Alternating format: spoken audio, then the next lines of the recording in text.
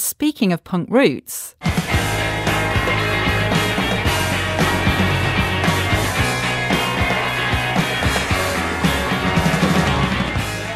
We discuss the fourth album by mercurial post punk band The Fall, Hex Enduction Hour, with one of the band's 66 or thereabouts former members, drummer turned author Paul Hanley.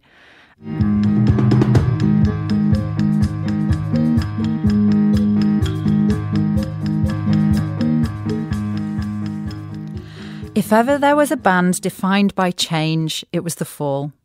Theirs is a story of constant rephrasing, of songs, of lyrics, of members, of facts, with the last word always going to charismatic founder and frontman Marky Smith. Smith's death in 2018 means that for better or for worse, their catalogue is now finally fixed. In 1982, the post punk group released their fourth album, Hex Enduction Hour. At the time, they were struggling for attention outside their small but devoted following that included Radio 1 DJ John Peel. Hex Enduction Hour changed all that. It was critically lauded and five decades on is still regarded by many as their masterpiece.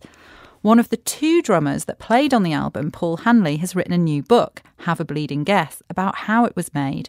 And he joins me now with music critic Kate Mossman to discuss its continuing significance. Hi, Kate. Paul. Hello. Hi. Paul, you were only 16 when you started playing drums for The Fall, which is extraordinary, really. What was your impression of the band at the time?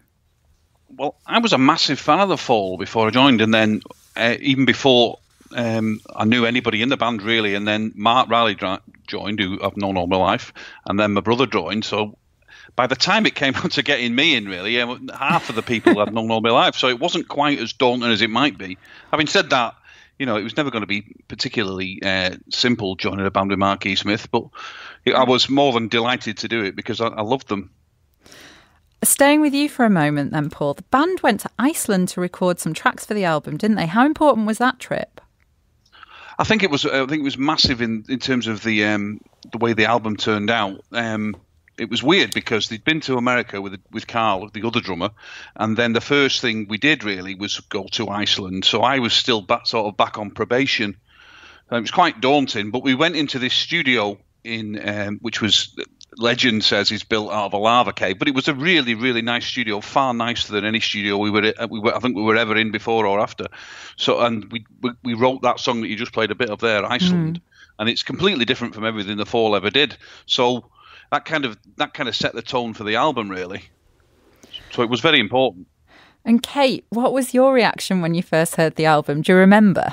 Yeah, well, it's interesting that Paul talks about the, the, the dauntingness of the band as, as, a member of the band. I think for the public listening to them, they're, they're seen as a very inaccessible, um, incomprehensible group. And mm. I first heard it when I was a student. I thought, oh no, I'm going to have to like the Fall now. I don't know what to make of it. And actually, I, I find them extremely accessible. And I don't know whether it's because they don't have that kind of. I was expecting like a post punk screen of cool that kind of kept them at a distance.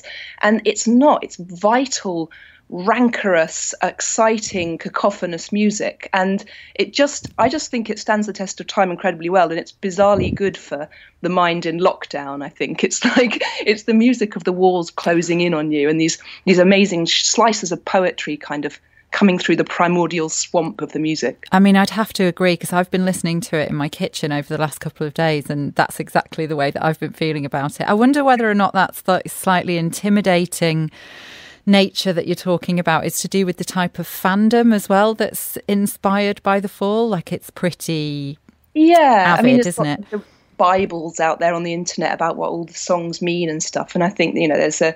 What's interesting to me is that that Mark said it was a sort of reaction against a melodic pop like Elvis Costello and Spandau Ballet that he saw as gloomy music. Yeah. And I like the fact that the idea of melodic pop might be gloomy because I think this is sort of anything but gloomy in a funny way, and it's very, uh, very wild.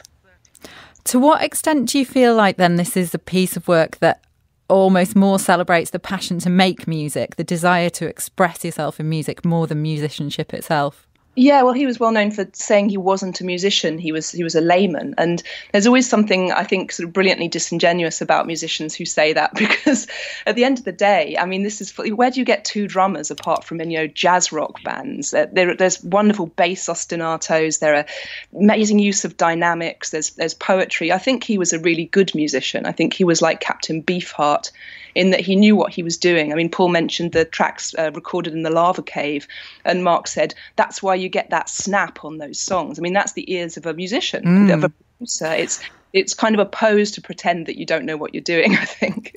Paul famously, Mark said, and how many times we've heard this quote, I couldn't imagine. But if it's me and your granny on bongos, then it's a full gig. And he was the only one constant member of the band. But from your book, there's a certain amount of setting the record straight by, you know, emphasising that Hex Enduction Hour came not simply from his vision of it, but also from the rest of the band interpreting that vision. Did you yeah, feel like that was an important thing to, to write about? Yes, definitely. Because one thing you could say about the fall is it would never have worked with Marky Smith and some session musicians. I mean, he, as much as he might uh, try and disparage what the people in his band did, he, would have been lost without them. And I mean, that's the mm. true for any lineup of the fall. But I think, I think Hex Enduction Hour, as, mo- as much as any other album, kind of set the tone for what the fall was. I think because it, it was when he'd finally established this sort of fragile group of semi non musicians who could make the noise that he got in his head, you know. But he mm. couldn't that noise. He couldn't make it himself. Yeah. If you the thing about the fall is if you if you if it was just the noise that Marky Smith thought was going to make, it's completely unlistenable. so if you get that balance right between what he thinks he wants and what he probably does want, then that's when the fall's at its best, I think. Yeah. And Kate, the the band were always resistant to being part of any scene and seemed kind of outside of time, really. Do you think the music has a particular resonance now? Yeah, I think it's. I, I don't think it's dated at all because it didn't sound like anything anything else in the first place. And I just I just really think that if you're if you're trapped in your house at the moment, when's the next chance mm. you're going to get really listen to a record, you know, intensely. And I was, I was thinking about this thing at the end of the news every night. They show these kind of marching bands recording in their bedrooms on Zoom, you know, doing yeah. Something. And there is that DIY ethic, isn't there? Which I, I guess that is that is part of.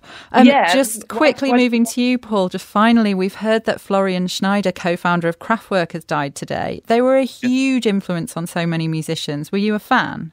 I was, yeah. I mean, they were they were a massive influence on Manchester music as a whole. I think. I mean, you can obviously hear that in New Order, but then then that whole sort of Motorik kind of sound. That's all the Manchester drummers kind of yeah. latched onto that, yeah. and that started with Kraftwerk. You, you, know, that kind of that sort of beat you can hear on autobahn, that sound of the motorway.